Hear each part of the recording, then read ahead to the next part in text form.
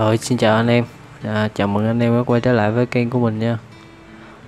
Thì à, hôm nay mình sẽ à, hướng dẫn cho anh em sửa cái lỗi bị à, rò DC trên cái bo này nha. Thì cái bo này là bo à, công suất 8 sò mono của XVA nha. Thì à, bo này là bo mình mua lại của một bạn ở quê thôi khi mình về mình uh, cấp điện và mình sẽ thử thì uh, nó vừa có nó vừa một lúc á, thì nó thoát được còn một lúc á, thì nó bị đóng delay luôn. Thì bây giờ mình sẽ uh, sửa cái bo này nha. Thì bây giờ mình sẽ cấp điện vào để test thử cho anh em xem nha. Rồi, ờ, mình mát xong rồi anh em. Đây hết chết quay cái cái dây mắt vô.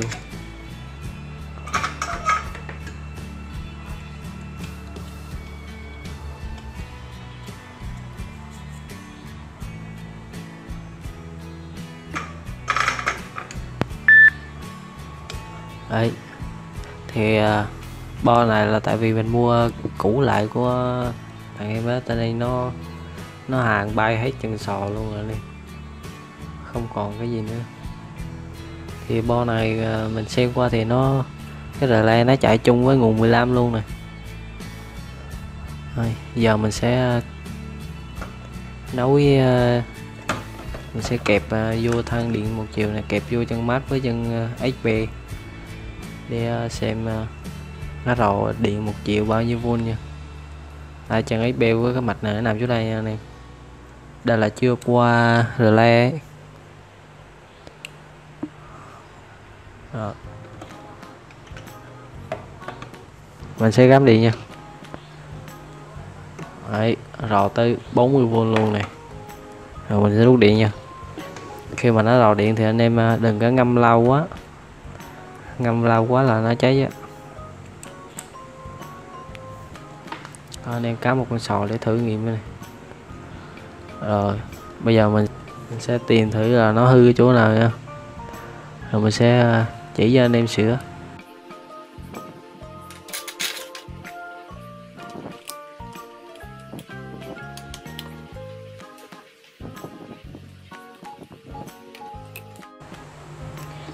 Rồi thì đây anh em. Cái mạch này á nó bị gãy một chân của con à, 5551 nè. Ở ngay vị trí chỗ này nha anh em. À, nó gãy rất là tinh vi nha anh em. Đây anh em nhìn kỹ này mớ hòn thì vẫn còn nguyên. Ừ, nhưng mà nó gãy nó vẽ ngầm luôn ở trong. Ừ, mò mảng một hồi nó mới ra ấy. Ừ. đây.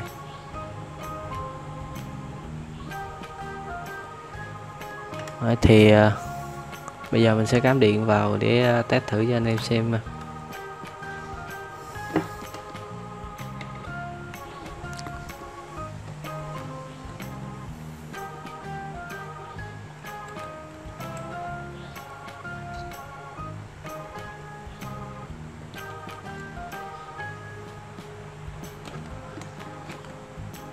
rồi thấy rồi rồi nha anh em. Rồi bây giờ mình sẽ ờ, đáo luôn nguồn 15 015 vô để cho anh em xem nó có đóng được lại không nha.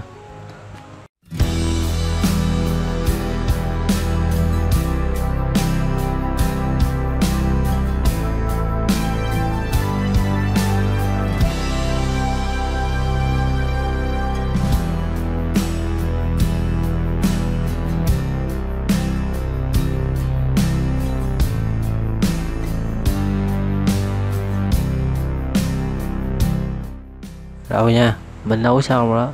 Bây giờ mình sẽ cắm điện lại cho anh em nghe nha.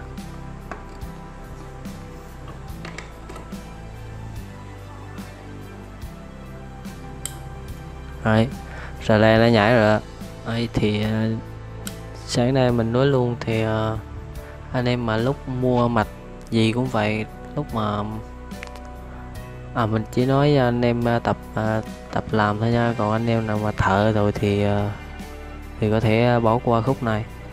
Thì à, mình chỉ nói cho anh em mới mua mới mua mạch về thì à, nên gắn hai con sò như thế này.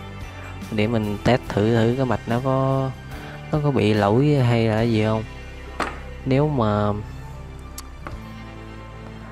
anh em cắm điện vào á, mà cái đèn này nó sáng á, là cái bo này nó đang bị chập, thì anh em xem lại là có bị dính chì hay là láp lậu ờ, cực của cái mấy con transistor này. Lắp nhầm hướng hoặc là uh, hỏng mấy con này này. Đây. Tới còn ờ, cái lỗi rò điện một chiều á thì anh em kiểm tra cho mình mấy con ờ, thúc nhỏ nhỏ này, này. Đó, cũng mấy con này thôi. Còn một cái lỗi nữa là khi anh em lắp hai con này vô nó hót rồi á mà khi anh em lắp bóng con vô hoặc lắp đủ vô thì nó lại bị méo tiếng. Méo tiếng thì anh em kiểm tra là mấy con trở lắp uh, bị uh, sai tỷ số nha. Hoặc là gãy chân trở. Thì anh em ờ, mới mua mạch về thì thường là sẽ bị mấy cái lỗi thường gặp như thế này. Nếu mà anh em không biết sửa thì lại kêu là mạch bị hỏng hay là bo bị lỗi gì vậy thì ờ, nhà sản xuất ờ, đôi khi họ cũng có lỗi nhưng mà thường là do bên vận chuyển họ làm ảo quá nên nó gãy mấy cái chân anh em không để ý. Rồi ờ, mình đã cắm dây jack 3.5 vô để test thử nhạc cho anh em nghe nè. Thì giờ là khuya rồi cho nên mình sẽ không test nhạc lớn được. Mình chỉ test nhẹ sơ sơ qua con loa xíu xíu này, con loa oval của tivi ấy. Anh em thông cảm nha hôm sau mình à, đuổi đủ sức rồi mình test à, test luôn cho anh em nghe nha. Giờ chỉ test nhiêu thôi.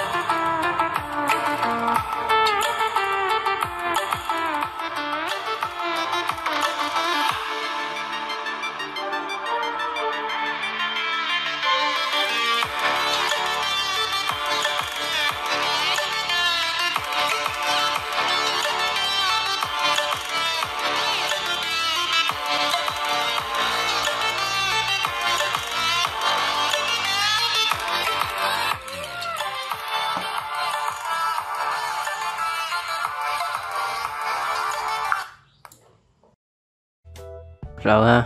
Mình đã test xong rồi ha. Thì ờ, cái lúc mà bật lên anh em đã nghe tiếng ù đó là do cái điện thoại nó bị két mát á két uh, mát đi.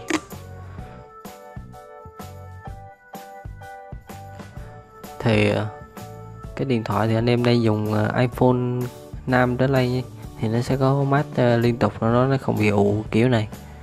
Cái này thì không thể khắc phục được chỉ có lắp mạch két xúc hoặc là mạch uh, free vô nó mới thấy thôi. Rồi video của đây tới đây của mình cũng kết thúc rồi.